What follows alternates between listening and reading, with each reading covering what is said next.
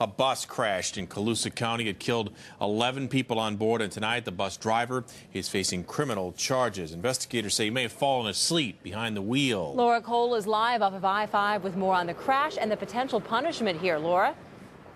Well, buses travel the freeways all the time on their way up to casinos. You can see lots of cars here tonight.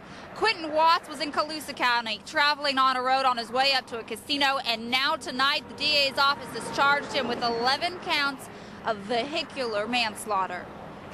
It was in Colusa County near Williams. Quentin Watts was driving this bus when he lost control and it crashed on its way to the Colusa Casino in October.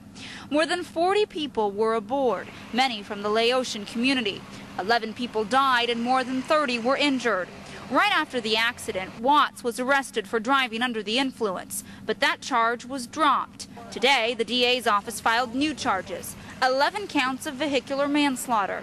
The CHP report suggests that Watts may have fallen asleep at the wheel after being up more than 40 hours. Criminal attorney Harlan Antler says there are two ways to prove vehicular manslaughter.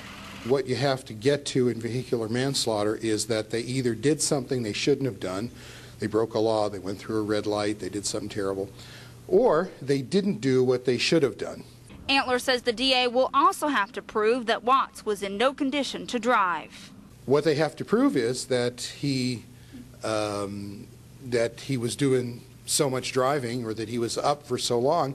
A reasonable person would have known you don't drive under these conditions, particularly if you have the lives of 40 or 50 or 60 people uh, uh, on your shoulders.